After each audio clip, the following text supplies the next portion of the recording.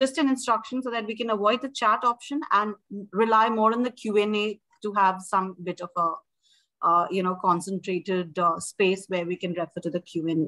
So over to you, Mr. Dhawan. Okay, good. Uh, good evening, everybody, and, and welcome. Uh, my name is Krishan Dhawan, and I chair the uh, Task Force on ESG. Um, as a group, uh, our ambition is to uh, increase awareness of the of the uh, issues uh, and concepts uh, in managing companies based on ESG principles, and really to highlight the imperative that ESG represents. Um, you know, it is far from an option anymore, and is central to, to, to business operations.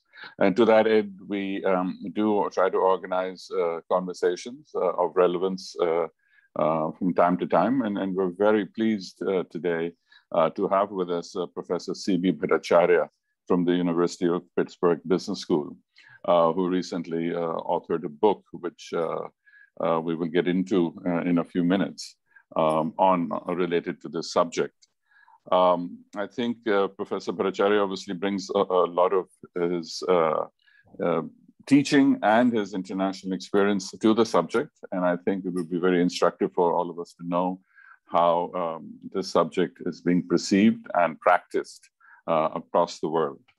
Uh, in conversation with uh, Professor Bhattacharya, we will have um, our, our, colleague of ours from the task force, Amit Tandon, who's the founder and chief executive of the IIAS, the Institutional Investor Advisory Services, um, uh, and a company that uh, both preaches and practices uh, concepts uh, around ESG. So we look forward to a very engaging conversation, and I'll turn it over to Amit. Uh, thanks a lot, Krishan. Uh, it's my job to introduce CB to you. Uh, CB, as uh, Krishan mentioned, is uh, chair in sustainability and ethics at the Katz Graduate School of Business, University of Pittsburgh. He's been a well-known expert in business strategy innovation aimed at increasing both business and social values. And uh, his research actually focuses specifically on how companies can use uh, under-leveraged intangible assets, such as corporate identity, reputation, corporate social responsibility, uh, sustainability to strengthen uh, stakeholder relationships and drive uh, firm market value. Uh, I think there are a couple of things which uh, kind of stand out in his CV. One is the fact that he's been a part of the select group of faculty members that have been named twice to Business Week's outstanding faculty list. He's been recognized by both Thomson Reuters and Google Scholars as one of the top cited scholars in his field. Uh, from the perspective of all of us, you know, far too long we're used to uh, people coming and giving us a theoretical view about what's happening.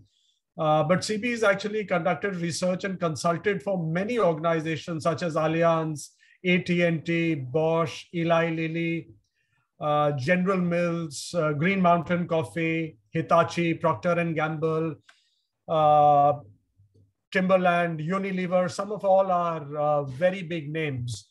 So that's the, uh, I guess, formal introduction to CB. There is also an informal introduction. Both of us uh, were in university together doing our undergra undergraduate degree, um, Delhi University from St. Stephen's College.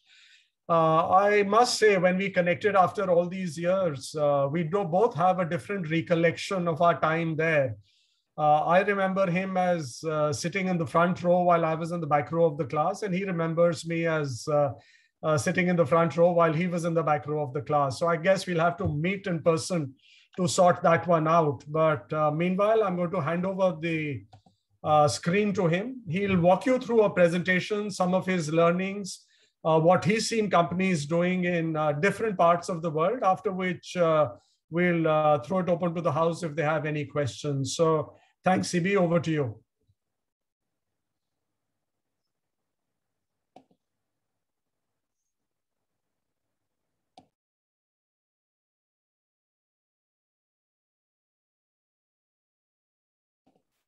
Have we lost uh, CB?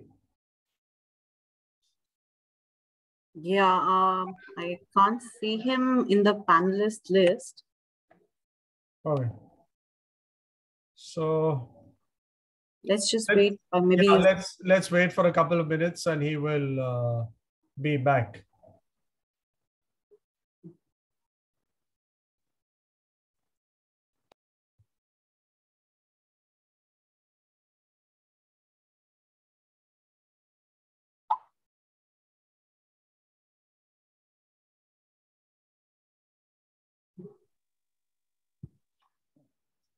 And so, Amit, uh, would you like to share with the group how long we expect the session uh, to last? Very roughly, what we've planned is that uh, we will have uh, CB speak for about uh, 20 minutes or so, after which we will uh, throw it open for Q&A. So we've begun pretty much on time. So if, you know, unless there's a there's a significant delay in CB joining, uh, we should be able to wind up things at 6.30. That's what we are planning for as of now. Okay, thank you.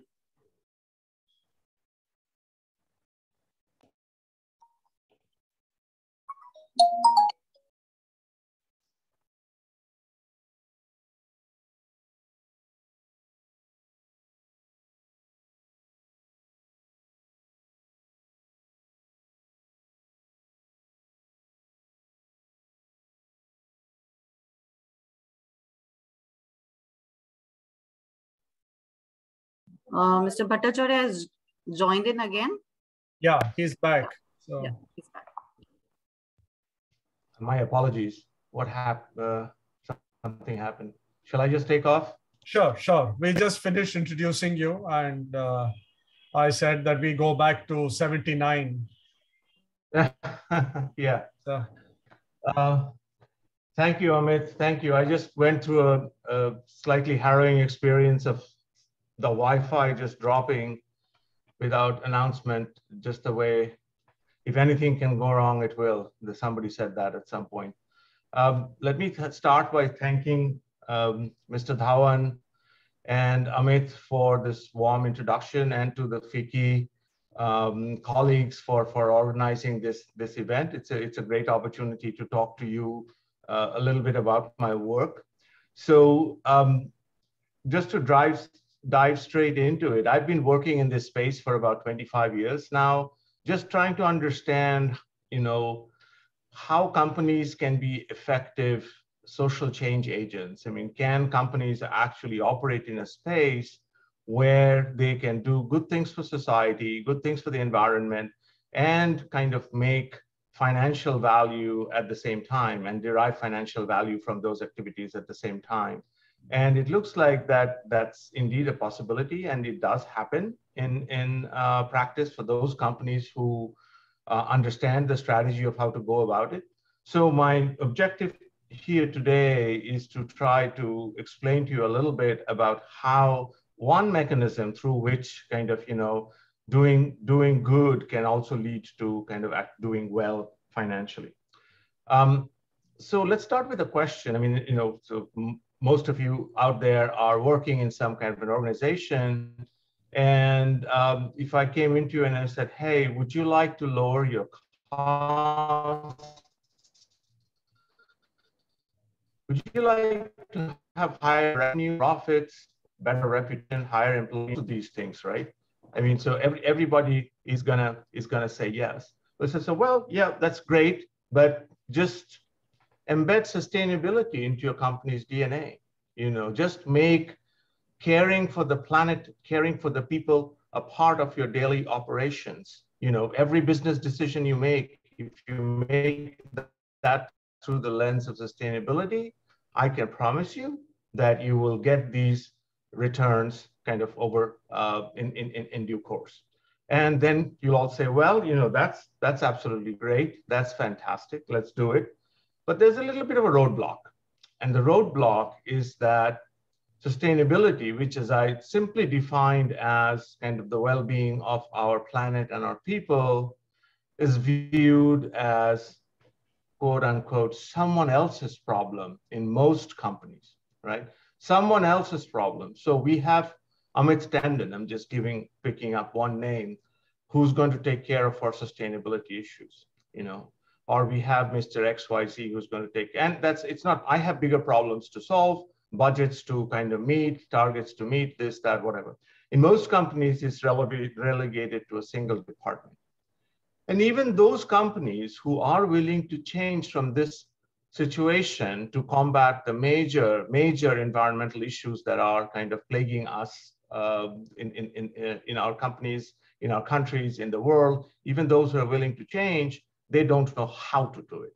So this kind of intrigued me. And for the last several years, I've been researching kind of, you know, what is it?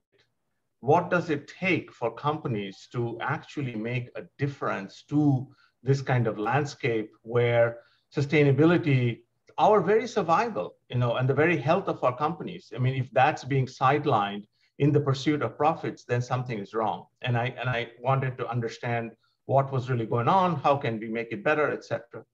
So over the course of about five years, I traveled the world, you know, uh, interviewed managers from, from several companies, uh, including from, from India, China, the United States, all of Europe, etc.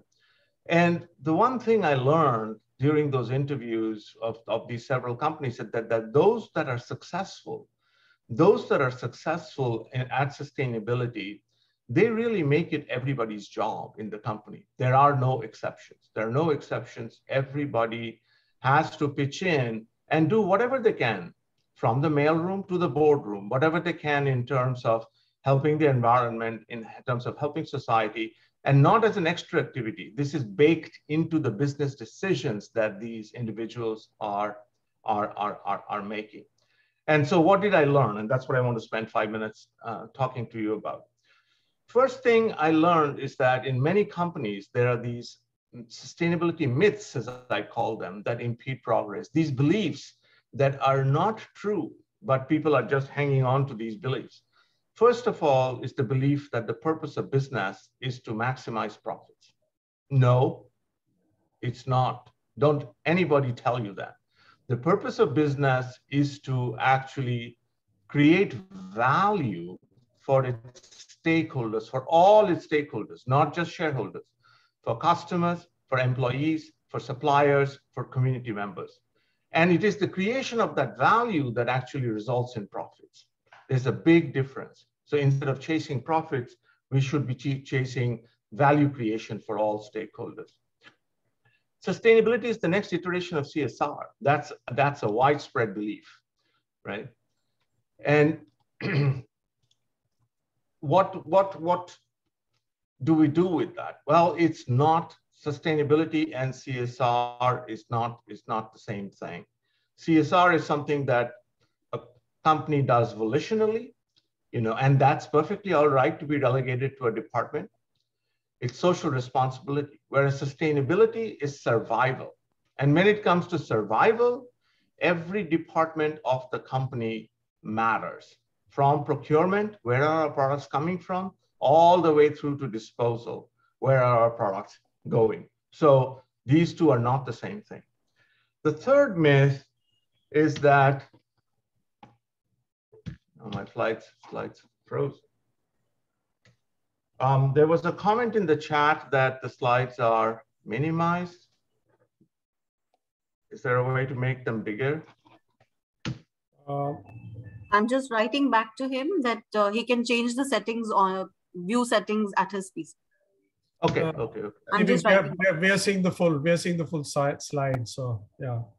Okay, I can continue then, yeah? Sure.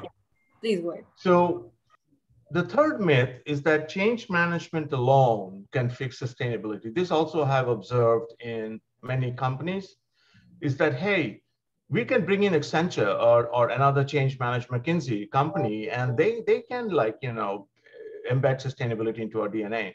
Not so fast, not so fast, because sustainability actually goes to the philosophy of why a business exists in the first place. What is business purpose? Change management also only concerned about profits. And so we have to add this business philosophy part to change management if we want to use it to fix sustainability. And last but not least, sustainability is a cost. No, it's not. It's an investment.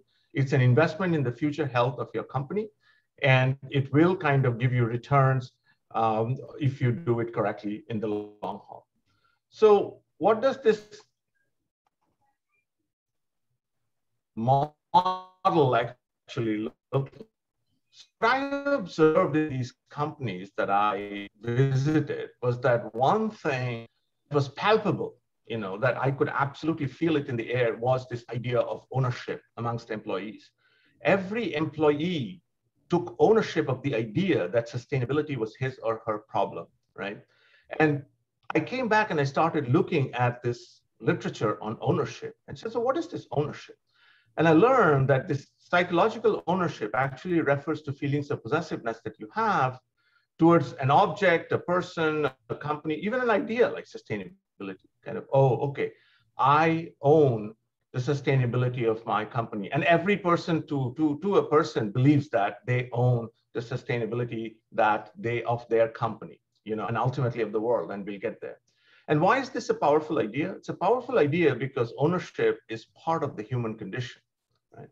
Jean-Paul Sartre said something to the effect of, we are what we have at some point. And finally, ownership is an extension of the self. So we like to show it as part of our identity, you know, so ownership is a, is a, is a strong concept to apply to the concept, uh, to the uh, context of sustainability. And, and that's what I did and came up, sorry, it's going the other way, uh, came up with this, a simple model that essentially breaks out, you know, the steps that a company has to take to become more sustainable into kind of three phases. And these are called incubate, launch, and entrench. And I'm going to spend a minute perhaps and then stop um, so that we can get on with some discussion. But the, the phases are important in that if you do not kind of follow them in a certain order at least, then you're not going to get the benefits. So let's see what, what, what kinds of uh, logic we are looking at here. And the first step is the most important step. And if we don't get this right, nothing else will follow. And that is that you have to define your company's purpose. Why do we do what we do? Why do we do what we do? Do we sell cars or do we provide mobility? There's a world of difference between those two. Do we sell electricity or do we empower people with what electricity can do for them? Two very, very different issues. So I learned from the CEO of this company called Enel, who is actually, it's the largest renewable electricity company in the world today. But you know, he was wondering why they were putting a power plant in the Middle East when there was really no need for it, or as, as he looked around. And then he learned that the idea was that they would put the power plant to make air conditioned tents in the middle of the desert so that the nomads of the area would, would congregate in these air conditioned tents and sit down and watch TV. And he said, none of that made any sense to me because that's not the job of an electricity company is not to foist new habits on people, but it's rather to help people do what they want to do. So he said that was the moment I realized what is the purpose of an electricity company. Similarly, each of you in the crowd on the audience today have to ask kind of, you know, why, what, what, what are we doing? What is the societal benefit my company provides? Remember, we talked about that value creation. So that's going to drive that value creation. So what is the value that we're trying to provide? And can we inspire epiphanies? Can we inspire epiphanies of CEOs, middle managers, rank and file employees to kind of see the light of that kind of. So Lifebuoy, a soap that's very dear to our heart that you all know about, you know, Lifebuoy's purpose is to help a child reach the age of five.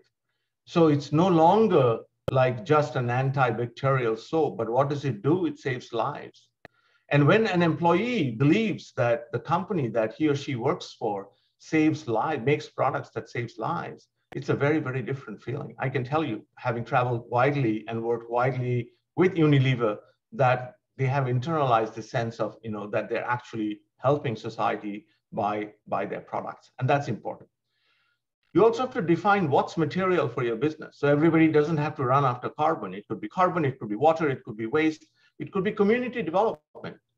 But what is material? And there's a, a whole science on material, materiality analysis that I'm not going to go in with you right now. But every company should define two, three, four issues at the most that they care about, and then cascade that list to all their employees after they've defined their purpose.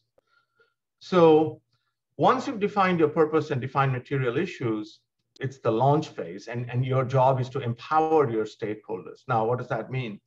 It means that we entice or seduce our employees basically to act sustainably and say, hey, you know what? If you kind of can minimize the use of this material, not only will we need less of the material, we will also be saving money. So you can appeal to the head saying it's not only the right thing to do, but it's also the smart thing to do.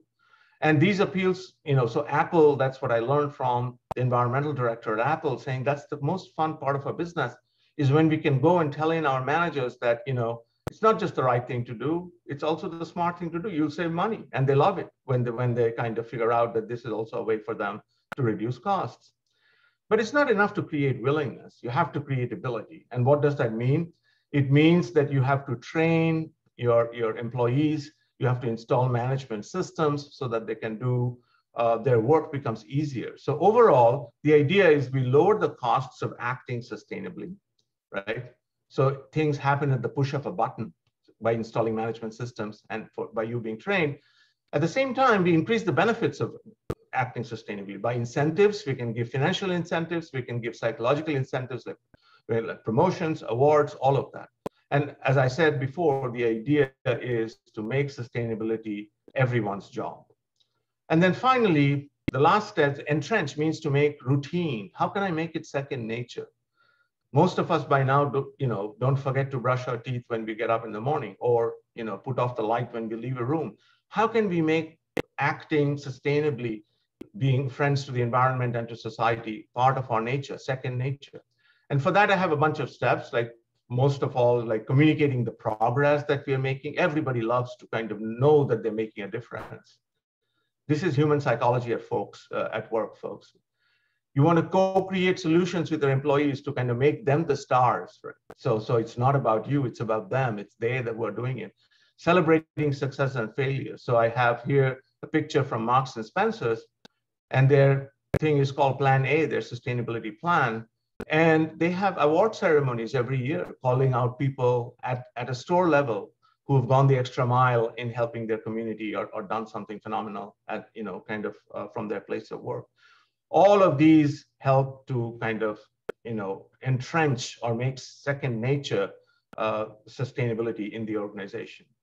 And the final part of entrench is to elevate your ownership from your own company level to the industry level. So expanding that idea of sustainability ownership. So you want to collaborate with competitors, right? Build platforms. So Unilever, the example I put up here, has worked very hard on deforestation, for example, you know, removing palm oil from the supply chain because that's kind of, you know, that's something that really adds to global warming. And successful companies have learned to put sustainability in the pre-competitive space. So let's not compete on saving the world. Let's compete on how to do better in the market. But let's leave this part kind of, you know, uh, aside and let's collaborate on sustainability. So these are some of the elements of the book. And I won't read these quotes, but the ownership in action is something wonderful to watch. I mean, you know, so here's the chief sustainability officer of a big retail company who's telling me some of the great leaps and breakthroughs with sustainability have happened because people across the organization have been inspired to change things themselves without coming to me to ask for permission, right? If a 100,000 person organization, if every time they have questions on sustainability, if they have to come to the chief sustainability officer, then things are not going to move far quickly enough. And this person has the confidence, he says, they know they're part of the business better than me and they're empowered to. It tells me that you know we have an employee who decides that he can make changes to a valve, save energy, save water. Add all of those up, you get a very big difference, and that's the essence of small actions, big difference. So I said this idea of doing well by doing good, or the million man march. So you know we know many hands make light work. All of these phrases are correct. You know we need all hands on deck. Same thing. So all I want to say is that, folks, there is a way where we can, as a business, create social and environmental value, think of the environment, think of society, and implement our plans accordingly. And that in turn can drive your financial value as well. So this is what is called as the triple bottom line of people, planet, profit. And it is there are lots of studies today to show that this is eminently achievable if you have the right kind of, if you have the right strategy. So I'm, I'm gonna stop, I'm gonna stop here. I just wanted to note before I stop that Small Actions, Big Difference is actually available in India. There is a special Indian edition of the book and you do not have to pay $40, but it's actually uh, 995 rupees. It's available on Amazon India and I believe that the distributor's name is Mukhi and Sons. Uh, by all means, if you have any trouble finding it, let me know. My vitals are as well here on this page if you want to connect. Um, but I, I stop here. Thank you, Amit. Thank you, Krishan, for the opportunity, and uh, happy to happy to take questions here. I'll stop sharing. Okay.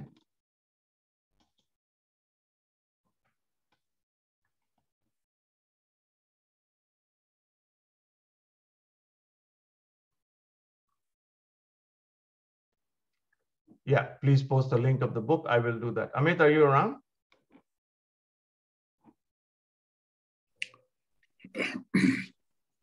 Does anybody hear me? Yeah, no, we, we can we can hear you. Um, CB, I, I am not sure what's what's happened to um, to Amit. Uh, Nidhi, any any sense of what's happened? I'm just checking over phones. Okay. Um, so while uh, Amit, uh, we find Amit, um, uh, CB, may I start with, with a question? Absolutely, you go for it. So I was very intrigued um, at your official um, sort of designation as professor of sustainability and ethics at the business school. Mm-hmm. Um, yeah which is which is uh, not a common sort of I think uh, combination or description. Uh, at least I haven't come across it too often. So um, this often comes up in the in conversations around sustainability, um, and I think you alluded to it. are we dealing with a, a, business imperative or an ethical uh, choice when we, we when we uh, as, as as as business people when we look at this issue? I mean, it's it's it's it's both. I mean, today, a business it is a business imperative in that many companies are not going to be considered if they do not meet certain sustainability criteria. You know, in their uh, in their in their uh, sustainability report, in what they're you know kind of giving in terms of their product specifications. So you know, for just for the sake of business, people will have to engage in them, even if they don't care about what, that is the right that is the right thing to do. So that so there is both a normative part to it and there is an uh, instrumental part to it. So there is this belief amongst fewer companies, perhaps, that it is the right thing to do. I mean, we, you know, what what what are our children going to do? What's you know what, what's the future look like? All of that, but you know, it's it's the bulk of the people are being moved via the pivot of uh, look i mean if we don't do this we are we are, we are going to be out of business very soon. So so so that's where the sustainability and ethics so that's where the kind of you know both the right thing and the smart thing kind of you know come together. Um, to give you a little bit of a background it was the position that I, they, I got headhunted for was actually uh, you know originally for ethics but i just walked in saying this that's not really what my, my scholarship is not much about ethics, it's much more about sustainability. And uh, um, so, but there is a logic that connects the two. The, fundamentally, there is a logic that connects the two for sure. Okay, thank you. So I think Amit, Amit, you're back. Would you like to uh, yeah, take over? I, I, yeah, I'm back, and uh, you know, today is one of those days when I guess I got out of the wrong side of the bed. So first, uh, just before CB was to begin his uh, wireless kind of started playing up and i had the same thing just now. But look uh, hey thanks a lot for that. Uh, i you know i i don't know how many of you know but uh, you know cb was teaching uh, uh, and focused on statistical models for marketing. And then he met ben cohen who's the founder of ben and jerry who asked him that look i'm doing uh, so much for the environment and so much for society does it help me sell more ice cream? So that was the pivot which CB saw which changed things for him. But uh, uh, let me kind of come to a small, you know, there's thing in your uh, in your presentation which resonated a lot with me which you've said that look it's someone else's problem so you know you kind of look at the smaller companies who say it's the problem of the larger companies the larger companies say it's the problem of the government the governments say it's the problem of you know the government uh, other governments. So just walk me through in terms of uh, you know this and then how you kind of go from that to the individual in the you did speak about it but i'd like you to elaborate a little bit more about uh, this aspect of how it's each individual's responsibility. Yeah yeah. Look i mean it, it's each individual's responsibility because we each inherit the earth and if we don't understand that we are a renter a visitor, however you describe it, but we are not the owner of the earth. We are not the owners of, the, of this earth. So it, it belongs, if, if it belongs to anybody, it belongs to the generation who will come after us. So there is a saying that I like very much. We do not inherit the earth from our parents. We actually borrow it from our children. And you know that that's the sentiment with which kind of every person has to be kind of told or talked to that, that as much as you take care of room where you sleep in, um, you know, you, you take care of your part of the planet Earth. And, and instead of like, you know, designating that room as the only place you live, it's like, okay, you help help the environment in the best in the best way you can. So in your personal life, you do the things that are helpful to the planet. In your professional life, you do the things that are helpful to your planet. So the idea of, of someone else's problem and the, the danger of someone else's problem is that it's very easy to pass the buck, right? I mean, it's very easy to pass the buck. It's very easy for a CEO who's come into a company to say, it's the next CEO's problem. I'm 60 years old and this is my last four or five years, and I'm just going to rake it in and maximize shareholder value. I'm paid in stock options. That's it. And then, you know, that, that's why we are in this mess because nobody has picked up the baton and made it their personal responsibility. So all, all I'm saying is that, look, if we can instill this sense of personal responsibility into employees of organizations, that's not a bad place to start because employees also have families and these employees will go home and talk to their children and their wives and husbands, whatever, and inculcate these practices also on the, on the home front. And that's where, that's how kind of this whole business of sustainable climate change, inequality, what have you, is going to be able to spread its tendencies. So it, it's just one, you know, governments, I mean, regulators have failed. I mean, they failed, but maybe the individual is not going to fail. Maybe we can try to actually kind of inspire people. And you go to you go to some of these companies like Unilever and and, and L, and, and I'm sure that you know, there's other companies uh, as well. I visited um, um, Ambuja, Ambuja Cement in, in Mumbai. And they were doing an amazing job of, you know, calculating value to society and this like this. So, so there's lots of good work going on. And this was just, this is just one more attempt at kind of, you know, uh, at, at, at, attacking attacking the problem, saying, okay, is, is this one is this a viable way to skin the cat or not? I believe it is, and I've research to show, empirical research, quantitative research, the kind uh, institutional advisors might want to look at, showing that purposeful companies you know, are more sustainable, kind of, you know, their, their, their employees are more energized to work on sustainability issues than companies without purpose, for example. I mean, so it's, uh, you can follow the money and, and what everything I said today actually leads to money at the end of the day, if that's what you're interested in, but a nicer form of money, I guess. Okay, so uh, uh, CB, there's a question from Mudit Sharma in the audience, and uh, this relates to, uh, you know, what you said, which is that uh, companies which focus on sustainability, uh, they're more, they have more robust operations. So, do you see some kind of um, attribution bias in the ESG-linked companies doing better in the, at least in the stock markets? Uh, and do you actually see better, uh, you know, and you did refer to the fact that, uh, you know, it doesn't have necessarily come at the cost of the bottom line. So have you seen uh, work to the effect that, look, they have, uh, they're more profitable or it's, uh, or when you say it's more sustainable, profits are more sustainable, how do you kind of refer to that, or what do you exactly mean by that? And what should the companies take home?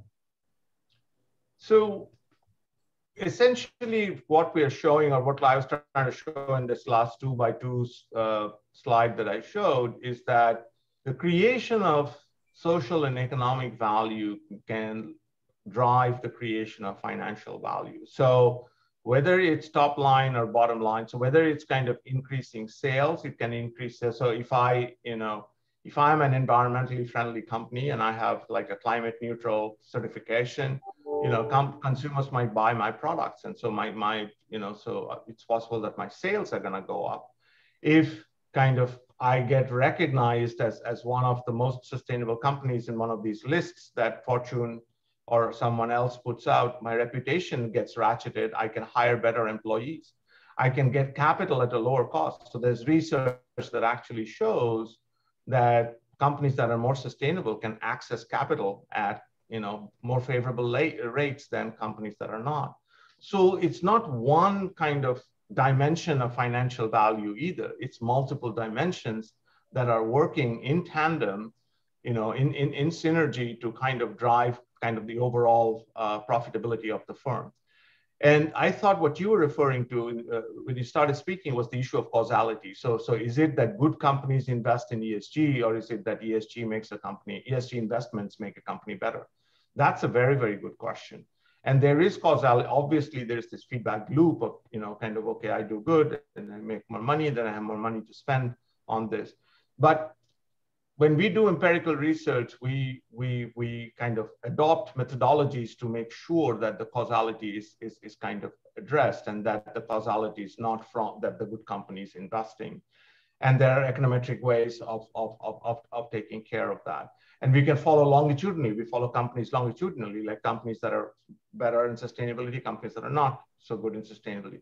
Follow them over 20 years. And there's research actually that has done that and then showing that even though they started from a similar position profitability wise 20 years later the more sustainable company was more profitable. So there's enough there's enough research to show the causality of that esg drives profits. And at the same time there's enough research to show that it's not just profit but where is it coming from? So all the kind of the gains in the cost the, the increase in sales the increase in reputation the increase in employee loyalty all of these things kind of you know work synergistically to improve the bottom line performance of the firm.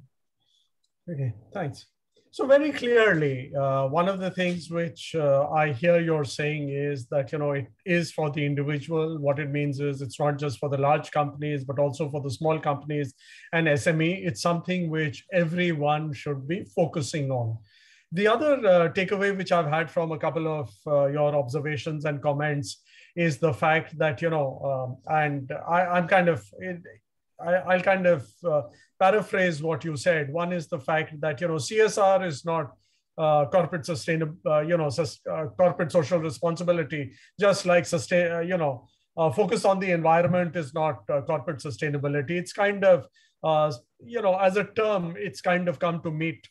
to mean something different, which is that you know uh, companies need to be behaving differently and doing something which is uh, taking into account the interest of all these stakeholders rather than one. So here's another question which uh, Krishan Jindal has asked. So is there a index or is there a measure which you can use or uh, is it that you have to kind of at this moment touch and feel your way through uh, sustainability and which are the more sustainable companies and which are less so? Um, well, that's there's enough uh, disagreement amongst reviewers on on those ratings. So there are environmental, you know, social and governance ratings. You can rate companies. So there is a, excuse me.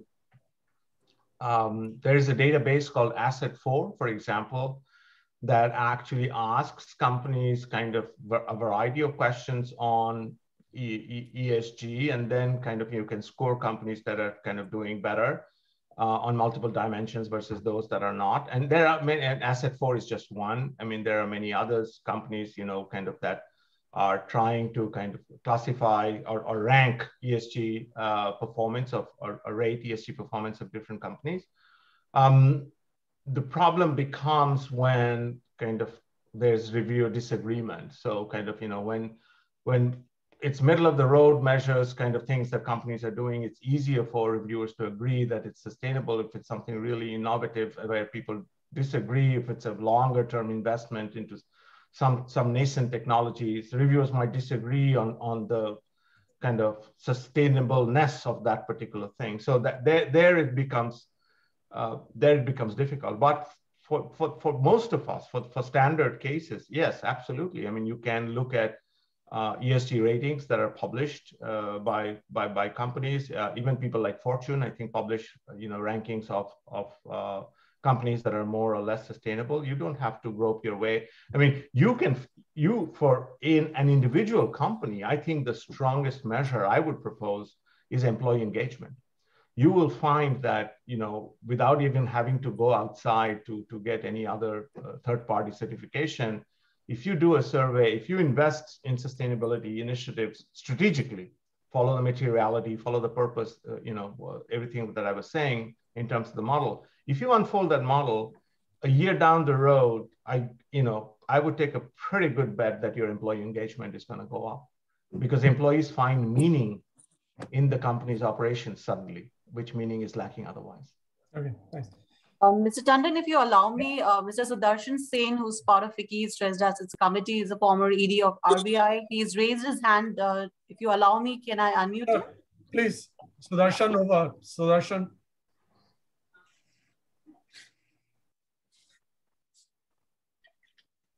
Hi, uh, am I audible? Yes.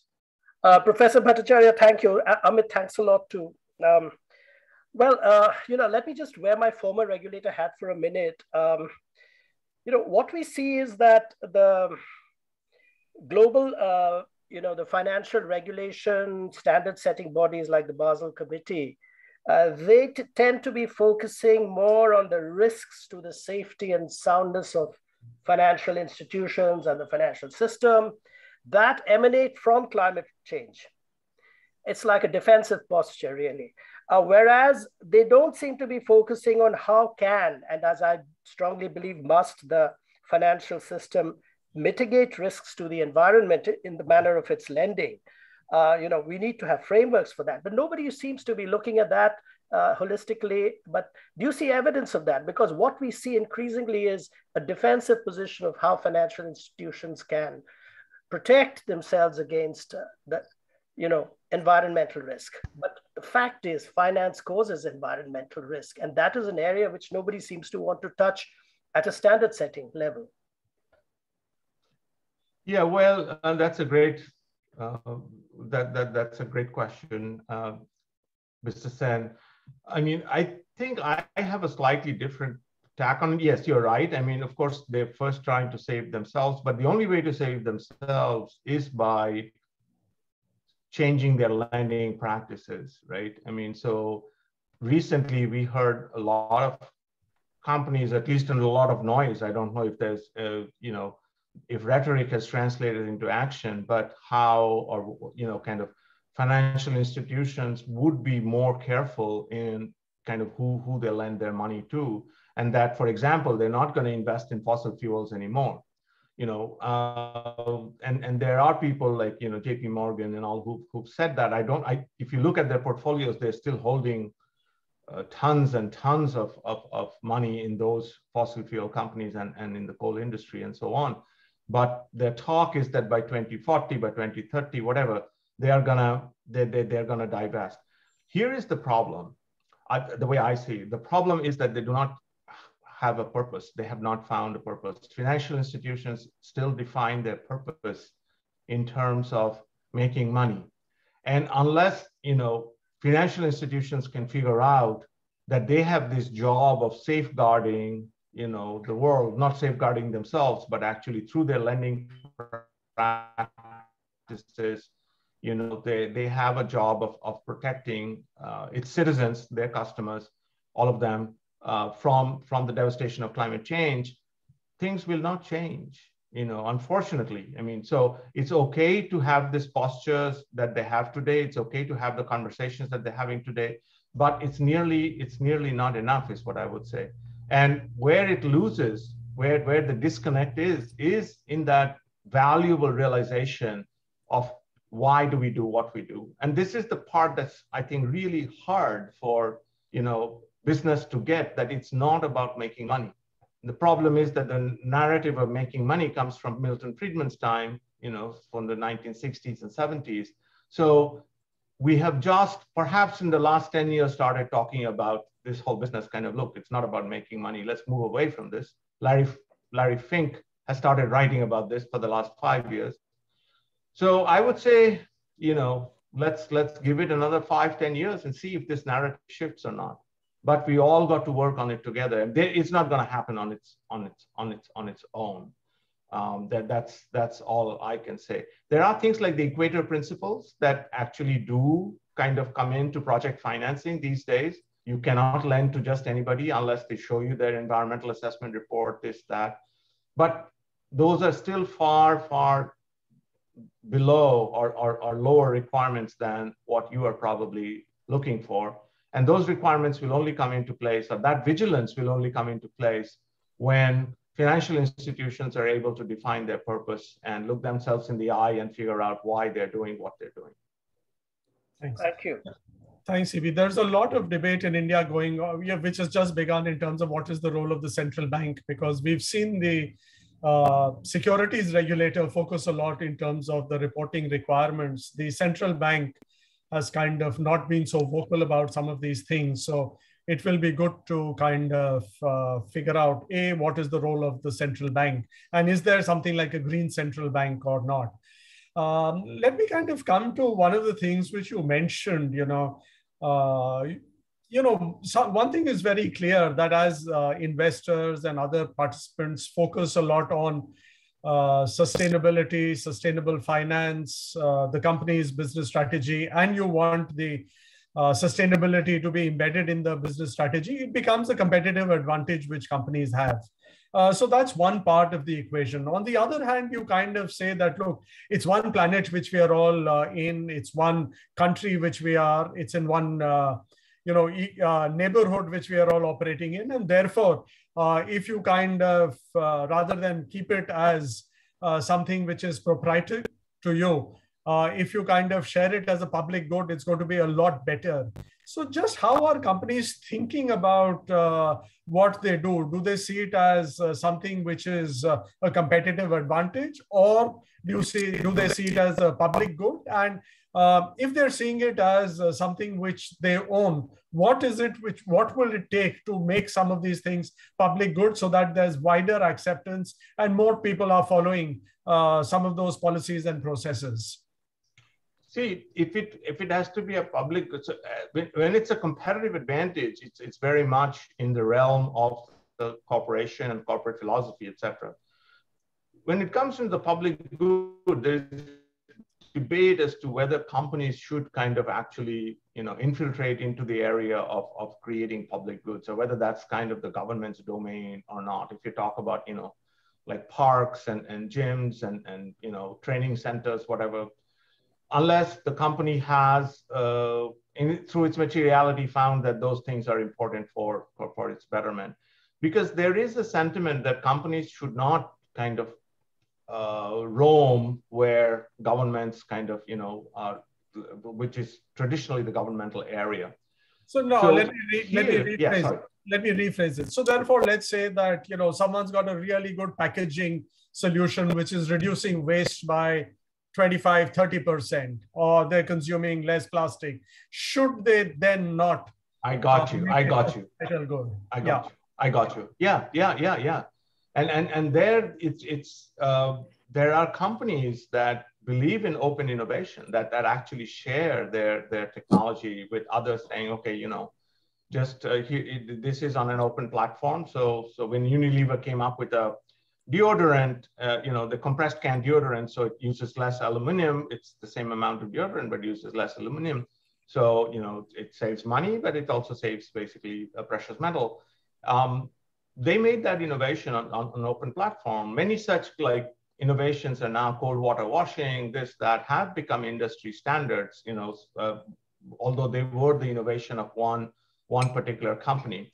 That, and that's the whole idea of kind of, you know, is this about competitive advantage? I understand your question now much better, and I think it's a fantastic question. So is this really about competitive advantage, or you know, should this be for the betterment of all? It it kind of boils down to the philosophy of the organization, and there are organizations that will guard that technology for themselves, and there will be organizations that make it available for the others. So so there is really no no one right no one right answer. At this point in time, what we absolutely want more and more companies to share, saying collaboration is the only way forward. I mean, look at what happened to the vaccine and the timeline by which the vaccine was produced. It wouldn't have happened had there not been a lot of collaboration amongst a lot of partners. So collaboration is definitely the way, the, the, the way to go forward. So don't compete on the methodology. That's what we were saying. Don't compete on the on the thermometer. Compete on the temperature you know so compete on what's actually happening going to happen in the marketplace you can do better than competitor uh, when it comes to marketing that that that that's fine but share the technology. Okay. Uh, we have time for uh, one or two more questions. So there is uh, uh, just hang on. There was something on uh, cop 26 and you know the climate conference which is taking place. Do you have any specific expectations from that? And what should uh, uh, companies expect coming out of there will it be a more stringent do they kind of enter a more uh, uh, more stringent regulatory regime where you know they're going to look at zero carbon a little bit earlier than anticipated? Or are you do you think that the timelines which are there are going to stay for the foreseeable future so companies can pace themselves uh, on what they're going to be doing? So this is uh, i can't having name i having can't having the, yeah i can't read the name who's asked this question but yeah i mean to be honest i mean having having observed uh, several cops so far. I mean, I'm I'm not optimistic that anything big is going to happen. I mean, I'm sad to burst everybody's bubble here, but you know, uh, typically countries get caught up in their own interest, and and so unless India and China are on board and you know kind of are, are willing to make sacrifices others will not follow them. Many others who are probably waiting on the fence and you know uh, to see what they do. And, and i think they probably will not agree to anything different than what they've already kind of agreed to. And and and this is what separates i think the company domain from this kind of cop domain where it's a mishmash of regulators corporates all kinds of people within the company, I mean, it's much, it's a much clearer kind of uh, space to, to observe and act, and act in that, okay, if I do this on my own, not only will my employees be happier, my customers be happier, you know, everything be good. I will also make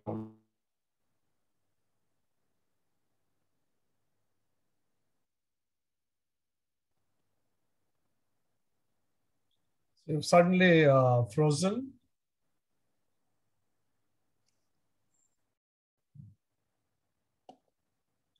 I uh, I guess today's not been a good day as far as technology is concerned. We've all had our challenges. Uh, let's wait and see when uh, CB gets back. There are a couple of minutes more. Uh, what I'm going to do is I'll just kind of pop up his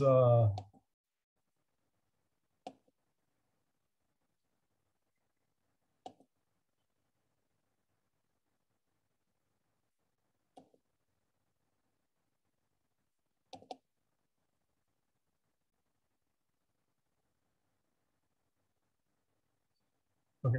So I've just got, uh, sorry, we've lost him. I had, uh, I was going to ask him one final question with regard to, uh, you know, is there an Indian? Ah, you're back.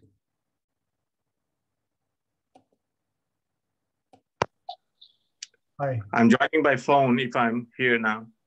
Yeah, so so I, I, said I'm very mindful that it's close to 6:30 India time. We promised everyone that we'll kind of let them peel away then. I have your, uh, you know, since you disappeared, I thought I'd put up uh, the screen with your face and contact so that if anyone wants to reach you. Uh, but look, I have one last question of you, which is the fact that, you know, you worked with companies around the globe. So should there be an Indian specific philosophy uh, or approach to this, or is there, you know, one global view which we should all uh, follow? And you know, if there is one India-specific view, uh, should FICCI should can we get FICCI to champion that uh, with Indian companies going forward? Any thoughts on on that? Yeah, yeah, yeah. I mean, if you actually look into ancient Indian literature, sustainability is very much mentioned in the Vedas. Um, you know, kind of the whole idea that we are renters of the planet this is not this is not new and therefore you know it is our job to protect the planet take care of people etc so you can find any number of roots uh, in in indian philosophy you know in, in, ancient indian scriptures that that actually appeal to this uh, the fundamental principles of sustainability. So and and i think if if there is anything uh, specific to to to India, it, it, it really is this idea of kind of why do we do what we do, this idea of purpose. I think FICCI can help a great deal because that's where I believe the bottleneck is. FICCI can do a great deal by uh, instituting a, a, number of workshops, for example, on, on helping companies realize kind of what you know what what their what their purpose is and kind of take that visioning into back into companies and cascading it to their employees i think that will do a lot more. And, and if that can be couched into kind of some of that indian philosophy and the literature and sustainability that I was talking about um, that that would definitely resonate you know resonate a lot uh, more with with the indians because you're going to tie that to uh, something that's been around for generations and now we are just reviving this idea and, uh, and, and, and, promote this idea of corporate purpose in, in that uh, kind of in, in, in that way. I think that can go a long way to pivot companies towards uh, to, towards being more sustainable. And if there's any traction in that regard, uh, this is my life's passion. So I'd be happy to, you know, uh, help out any which way I can. Uh, so I'm sure uh, people will reach out to you. So it's quite interesting, right from our ancient texts to, you know, if you go back uh, a uh, hundred years uh, or maybe a little bit longer, you find that, you know, corporate uh, philanthropy and certainly family philanthropy has played a great role. And I'm kind of here in Bombay and I kind of look around at a lot of what is around me. and you kind of, whether it's a hospital, Institute of Social Science, or even the zoo itself, you find that it's uh, private philanthropy which kind yeah. of uh, went on to build that. And now we're kind of entering the next phase. Uh, and you know in a sense it's at the right time because you know we haven't had the kind of excesses which we've seen with the western world or china. So india can be a lot more positive in it. And there's a role for as you say for each uh, company and each individual to play.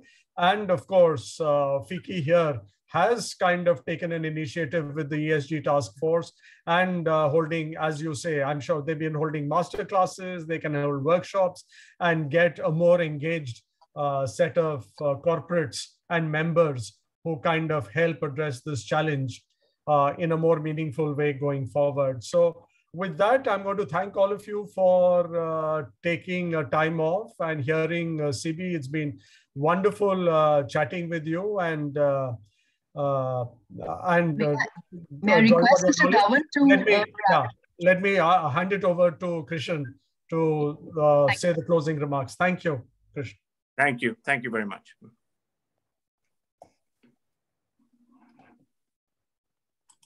You're on mute, Mr. Dhawan.